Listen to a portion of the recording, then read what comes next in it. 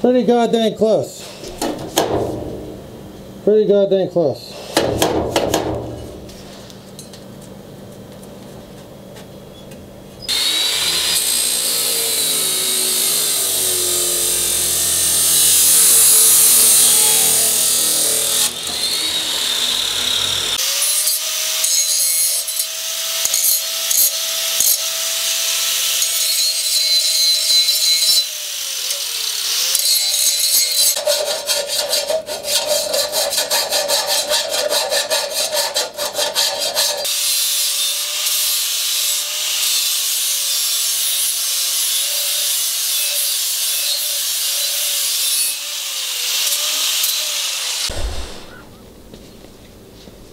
Alright, so I got a brand new cutoff wheel made by Warrior. We're going to see how it does cutting through eighth inch square tube.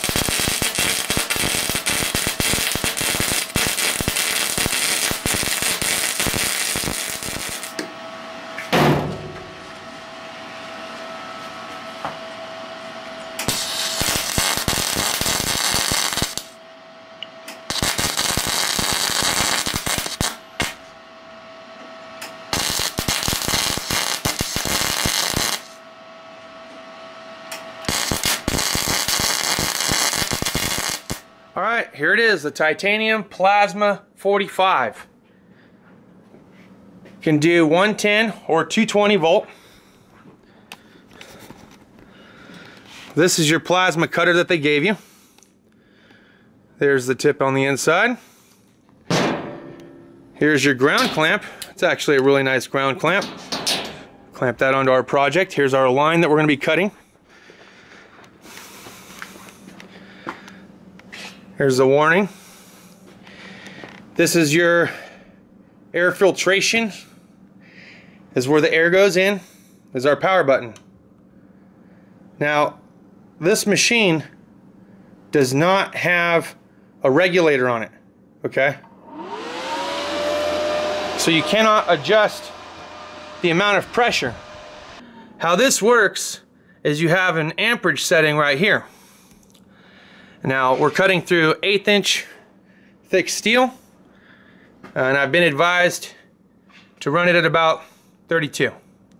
Uh, you can read the instructions for yourself. We're going to start with 32 and just see uh, how it works.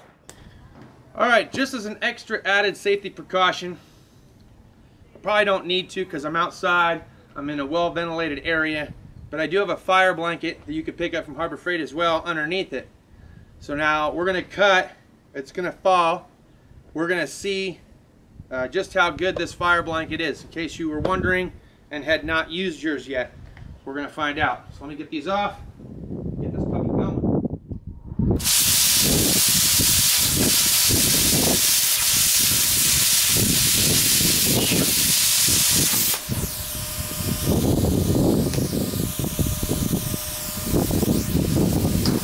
Alright. So mini my bad.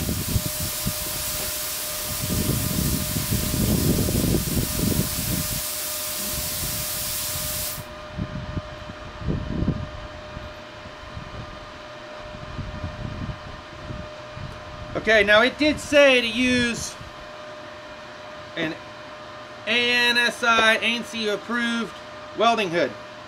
So I did. I couldn't see shit. I saw barely just a little spark. So now I got my brazing goggles on, hoping I don't get flash burn. Hopefully I could do that with that. Uh, I'm not sure what I'm supposed to wear here.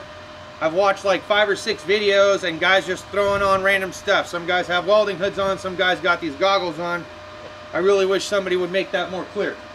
Okay, but looking at our cut, and I am definitely offline here, uh, but at least I went the other way of the unusable metal that we don't need. Uh, I definitely need to go deeper. I almost went through, but not all the way. So we're going to go to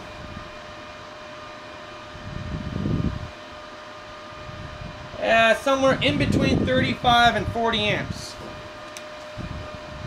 Here's our little safety trigger. So when we're ready, we lift that up. Let's try again.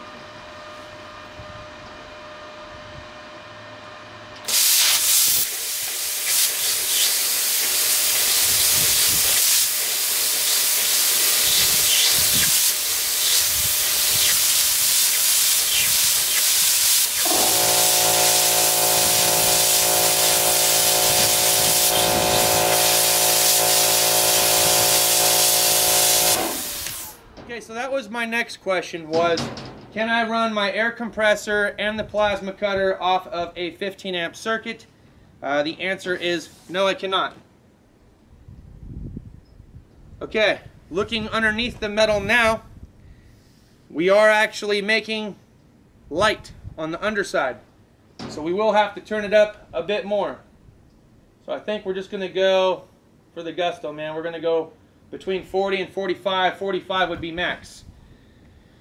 Um, I gotta fix the breaker.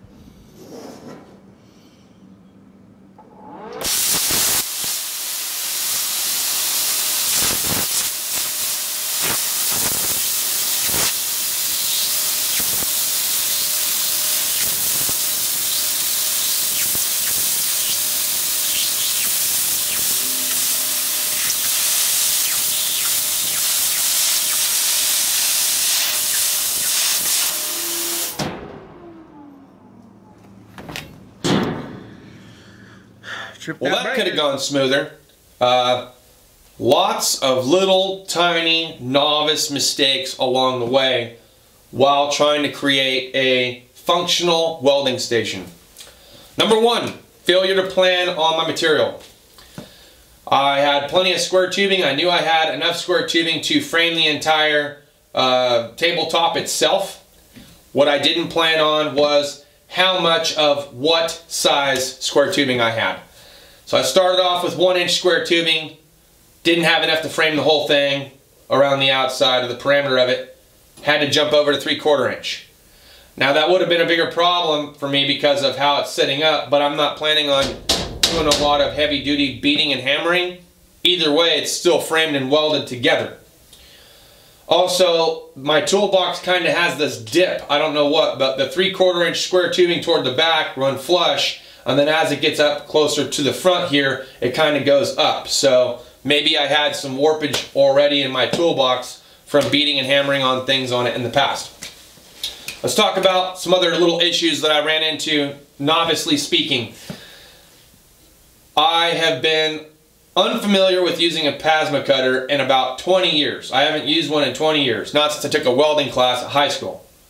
And what I didn't know going into it was whether or not I should wear a welding hood or brazing glasses. And I probably should have used a little common sense here because the oxine acetylene torch, when you're, when you're running that, you're using some brazing goggles, not a welding hood. Not thinking about it at the time, I actually started off with the welding hood because the instructions say wear an ANSI approved uh, welding hood uh, when operating this plasma cutter. Well, brazing glasses, okay? I used this, couldn't see crap.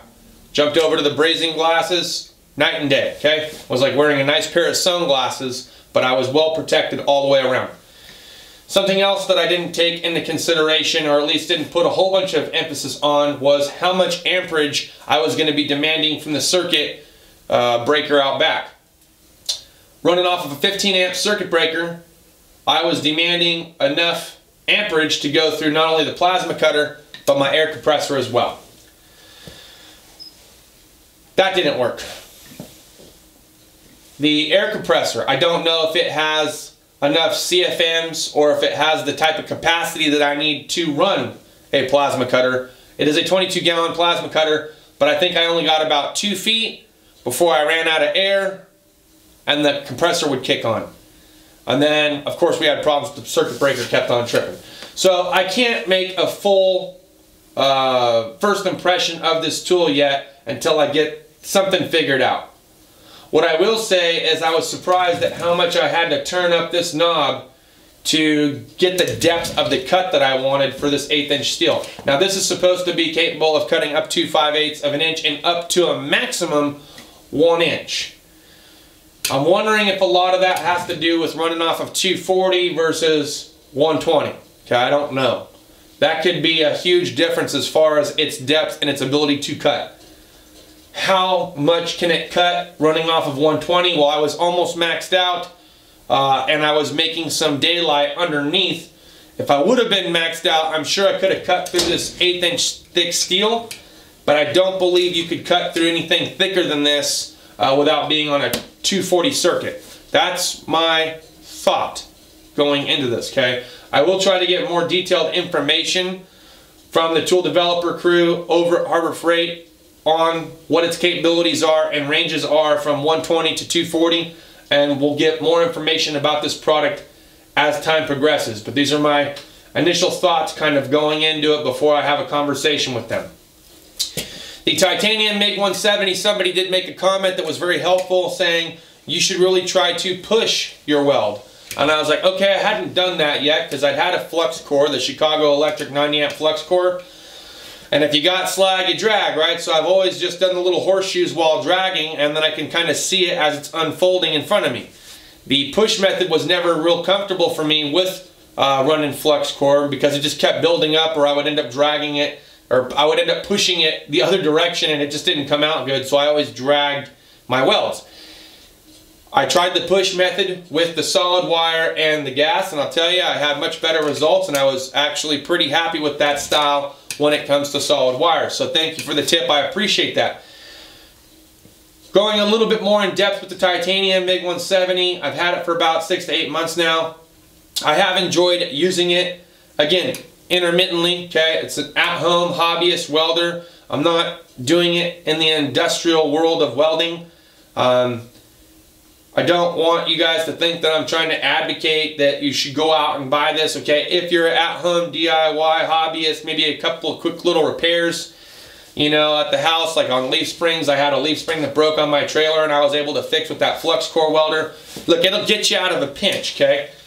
These welds are definitely a lot better looking with the titanium MiG 170 over the Chicago Electric. So Dented Tools, I think, said it best.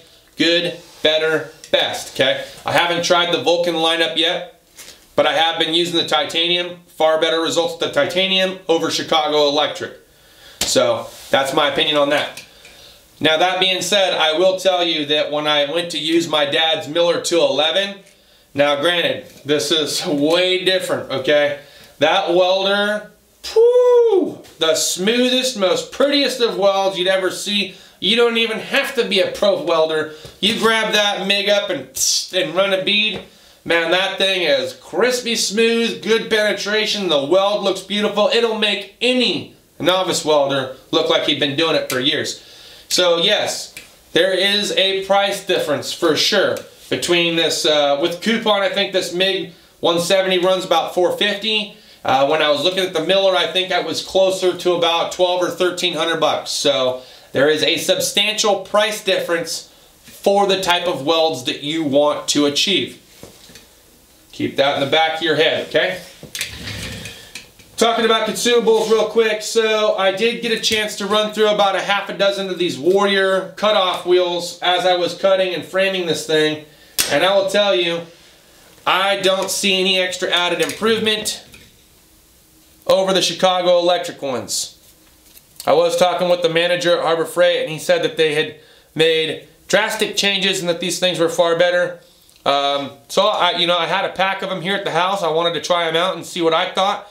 And uh, to be honest, I, I, don't really see the difference. Um, I got the same amount of cuts and the same amount of results that you can expect from these type of cutoff wheels. I will tell you that 3M is by far a better product and that you won't have to worry about fraying, splitting, or coming apart while you're using them. But they are cheap and they're all disposable, okay? You're gonna go through them. That's just, so you save your money where you want. Okay, I blew through about a half a dozen and I got my project pretty much almost all done in frame. They're clamps, okay? These are both Pittsburgh clamps. I use them for welding. Look, they work well for me because I'm planning on getting them all slagged, beat up, dropped, kicked, etc. I don't care if I get slag on them. So I know that Irwin makes a phenomenal product when it comes to clamps. Maybe you have a lot better luck with the Irwin over say like the Pittsburgh where like this one I wasn't getting the same bite on the metal as I used to. So I don't know if that's just because it's worn out over time. I've had this now for probably the betterment of about a year or two. Um, it still works, okay? But uh, yeah, Irwin's by far a better product, but these are cheap and you're gonna get slag on them. And if you don't want to jack yours up, I don't know.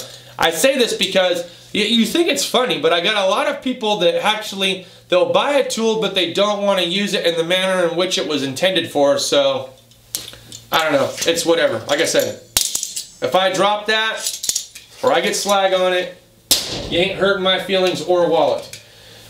Talking about the Hercules angle grinder. So, likes and dislikes. What I liked about it was that I ran this thing for a few hours of use, switching back and forth between the sanding disc, the grinding disc, the cutoff disc. Look, if you're having to switch in and out of these things, it is a little extra time to do so. So your options are what? Well, you can have two or three of these things already set up for either grinding or sanding. That way you don't have to keep on uh, changing out the deal. Or you can buy one and change it out and take a few extra moments. Uh, overall, pretty impressed with the Hercules uh, angle grinder. Will say that what I did not like, and it's something that I've mentioned in previous videos, is the paddle feature. I'm just not a huge fan of the paddle design, okay?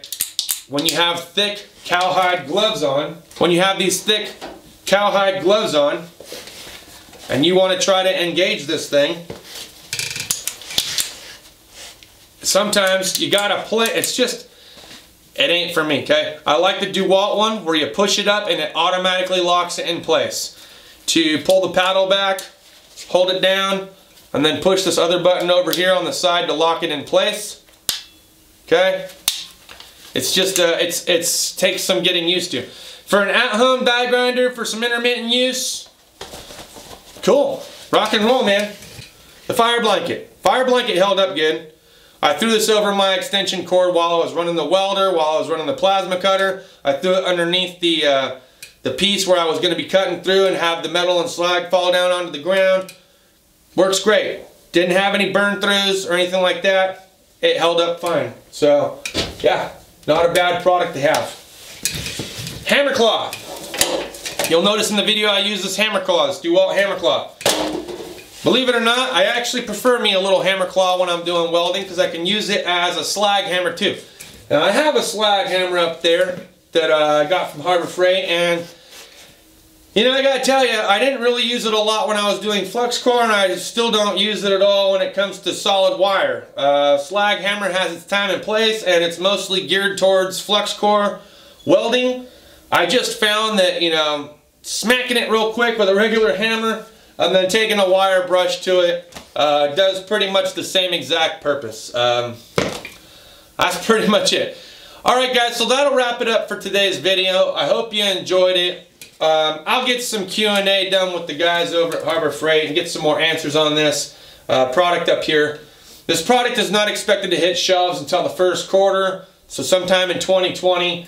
Right now I'm kind of putting it through the paces, testing it out, letting them know of some known issues that I have as a home user, okay? Because those are the kind of questions that they want to know. Is it going to, you know, in what manner would you use it if you were a home user? Like if you did it for a hobby and you were at the house, what kind of situations are you going to run into? Well, one, is the air compressor big enough? Two, is the amperage that I'm demanding from my household circuit big enough to accommodate both? Do I have to run it on two separate circuits?